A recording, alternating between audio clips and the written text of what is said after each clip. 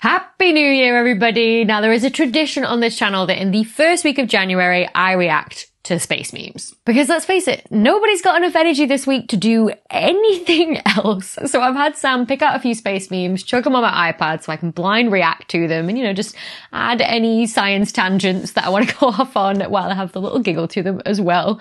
Also, as we look forward to 2024, I want to give a big shout out to Planet Wild, a global community of individuals that want to give back to nature by funding ecosystem restoration missions, like where it really matters.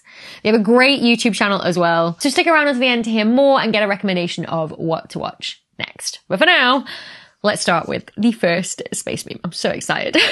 anyway, see. Oh my god.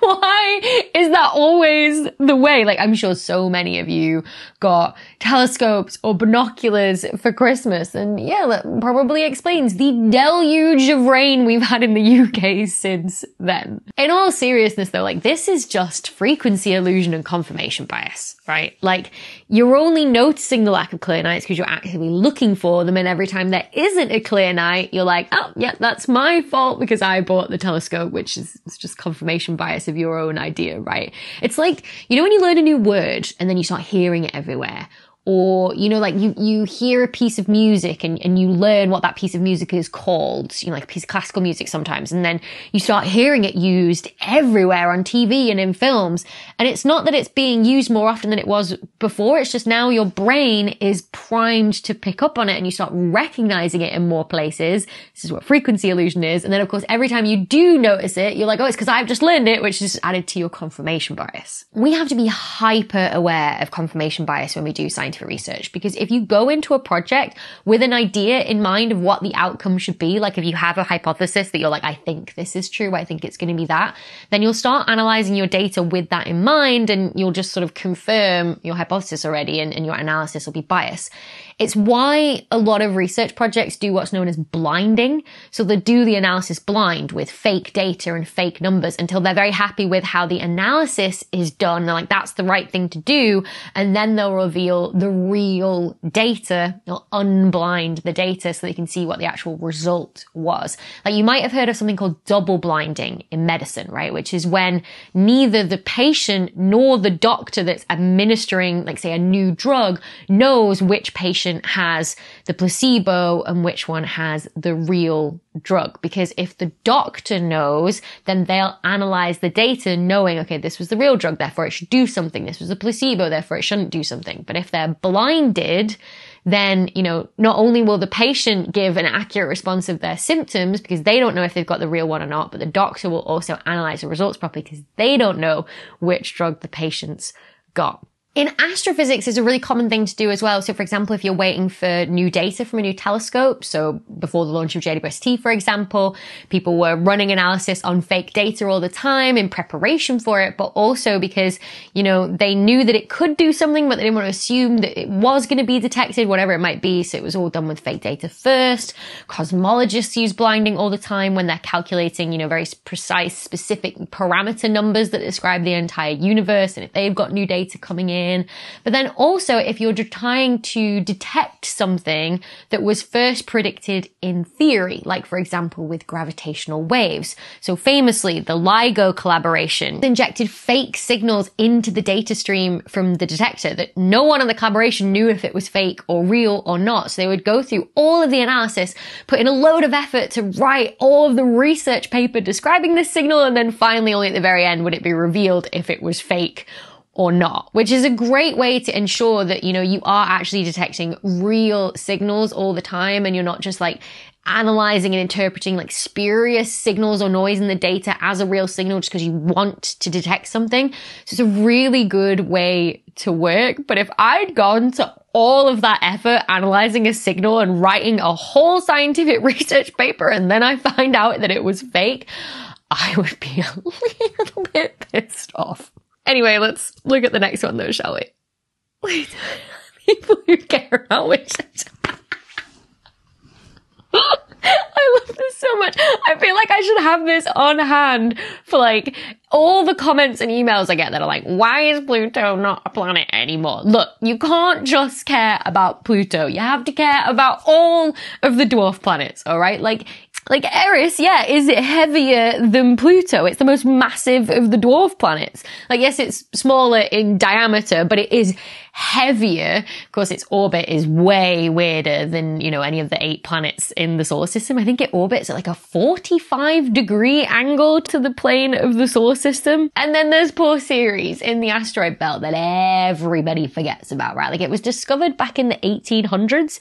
I think it was first like classified as a planet when it was discovered, but then they found a lot of other things in the asteroid belt in the years following and it very quickly got downgraded to an asteroid. And you don't see anybody kicking off about Ceres getting downgraded, do you? But well, of course, when Pluto got downgraded to a dwarf planet, Ceres then got upgraded from asteroid to dwarf planets. You don't see anybody celebrating that, do you? Like, my point is, it's hypocritical to only care about Pluto. If you're gonna argue for Pluto being a planet, then you have to also argue for all the other nine dwarf planets as well. All right, you can't have it both ways. All right, you can't just argue for Pluto. And that is my rant over now, I promise. Let's look at the next one anyway. Humans sending the science. oh my. This is amazing. Like, if you don't know what this is, this is one of the golden records that was sent out of the solar system on the Voyager probes, like launched way back at the end of the 70s. They're now like billions of miles away, having left the solar system completely. And with it, they took this sort of like time capsule of Earth with these golden records that also was this like map of where to find Earth as well. The idea being that any intelligent civilization, any intelligent life stumbled upon it in the future, they'd know exactly what it was like and where to find us. So it was essentially this record that contained like recordings of, you know, sounds of nature on Earth, but then also like sounds of humans as well. So there was like, you know, like laughter and also music as well. But then, you know, like greetings, uh, you know, over like 50 different languages of Earth. Of course, they also had to provide instructions for how to read all that data from the record. So most of these squiggles are, are just that, right? How to read it and that this data is like binary encoded, etc.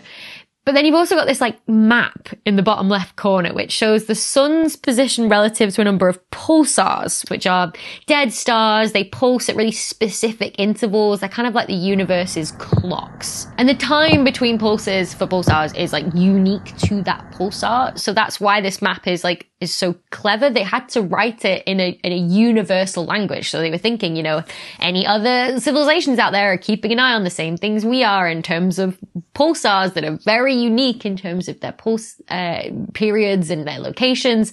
They should then be able to use that to triangulate back to where Earth is. It was a really clever way of doing it if you think about it. And yeah, okay, it looks very complex, but it's perhaps not as complicated as you might initially think looking at it, but I mean, just love the fact that like the image that they've used here as well for the aliens response.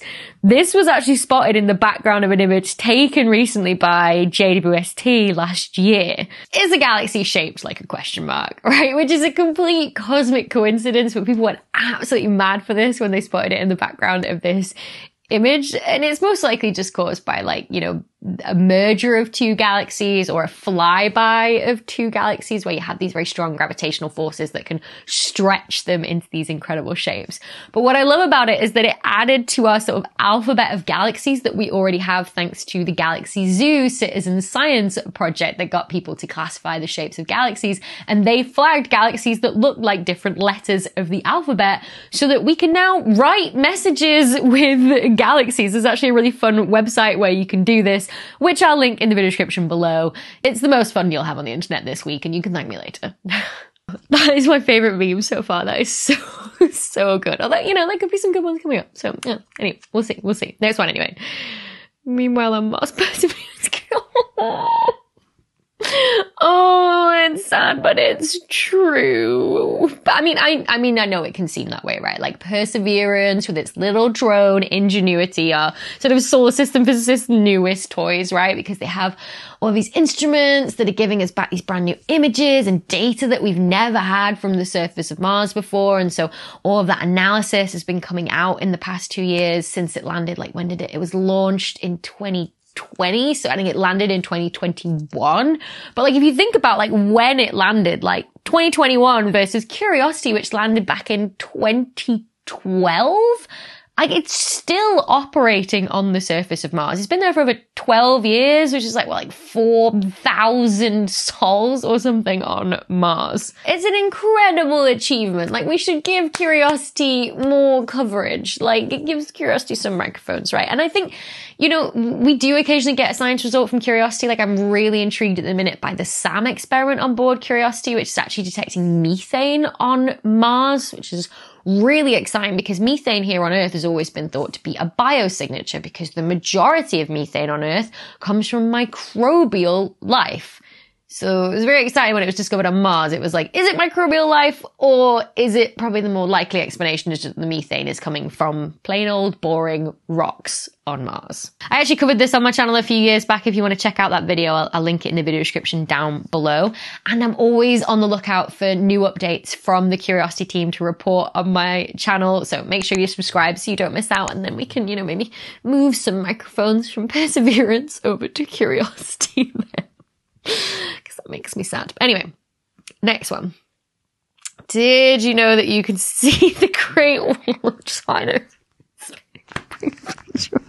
oh, oh, this is a classic, right? There's always been this myth that you can see the Great Wall of China from space, and I'm sorry, but you can't. We actually talked about this on an episode of the Supermassive podcast recently, which is the podcast that I co-host for the Royal Astronomical Society. Like, if I remember right from that episode, it was something that stems from a letter that somebody wrote in like the 18th century that said like, oh, the Great Wall of China is so big you can see it from the moon, which is just completely wrong. Like astronauts aboard the International Space Station, which is orbiting like 400 kilometers above our heads have reported not being able to see the Great Wall of China with their own eye. Like they need like binoculars or like a camera lens to be able to see it. And even then, like you need to know where specifically to look to actually then spot it.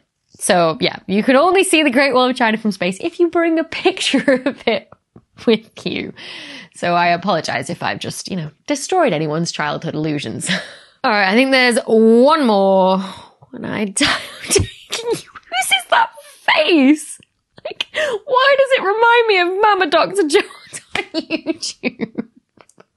I hope she doesn't mind me saying that, but I mean, look at it. It's, I love this. Anyway, yes, this is the sun, and when it eventually runs out of hydrogen to fuse into helium, which is what, you know, fuels its nuclear reactions in its core to give out, you know, light and heat, it will eventually swell into what's known as a red giant to essentially delay the inevitable of its death and it will start fusing like helium into heavier elements. When it becomes a red giant, like we're not entirely sure how big it's going to get, but it is expected to swell beyond the Earth's orbit completely, maybe even covering Mars as well. But essentially what we do know is that it will completely swallow Earth and incinerate all life on the planet, which it's a very cheerful thought to start 2024 with, but we don't have to worry because we don't think this is going to happen for another 5 billion years at least. We know the sun is roughly middle aged. It's got about half of its hydrogen fuel left. Again, I've actually made a video on this before on how we actually know that. If you want to check it out, I'll link it in the video description down below. Now, I want to make more videos like that in 2024, like how we know something. So if you ever like heard me like say a number or a fact or just any time in your life, if you heard someone say something about space or astronomy that you're like, wait, wait, wait, wait, wait. How do we actually know that? Then drop it in the comments down below and I will try and answer it with a video later in the year. Alright, that's it for space memes for this January. This is definitely becoming a tradition now on this channel. So let me know if you want me to do this again next January. But in the meantime, if you see any more funny space memes on your travels around the internet, send them my way over on social media because that would just brighten my day. I'm really looking forward to, you know, all of the new astrophysics results that 2024 might bring and then covering them on this channel for you guys. I'm going to be back next week with a more sort of like hardcore science video all about one of the most distant galaxies known and the observations we've got from it from JWST. And now we still don't really know how to explain it. So make sure you're subscribed so you don't miss out on that one. But before I go, I want to give you a recommendation for what to watch next on YouTube with Planet Wild. Planet Wild is an initiative that is really close to my heart because I love getting out into wild places and hiking and enjoying nature during the day and then enjoying the dark night skies that those wild places bring at nighttime. But we have a responsibility to protect those wild places. And Planet Wild works with wildlife pioneers worldwide to bring back endangered species, clean up our oceans, and to revive forests. They go on a new mission each month to preserve nature and wildlife, and then they document it over on their YouTube channel. Now, these missions are funded by people just like you and me in the Planet Wild community. And if you join me in becoming a member, then on their app, you can actually vote for what project you want to see them do next with your membership funds. I'm also giving out one month's free subscription to the first 200 people that use the code Dr. Becky when they sign up. But if you're not in a position to pay for membership and you still want to get involved, don't worry. You can still support them by checking out the videos on their YouTube channel to learn more about their cause. I've linked their latest mission video about protecting elephants in Tanzania down in the video description below, but also right here so your next video watch is sorted only notice the lack of clear nights because you're actively looking for them. Shush phone. Like the 18th century? Which way I always forget with centuries. If it's like if it's 18 something, is it the eight? No, that's the 17th century, because the 20, yeah.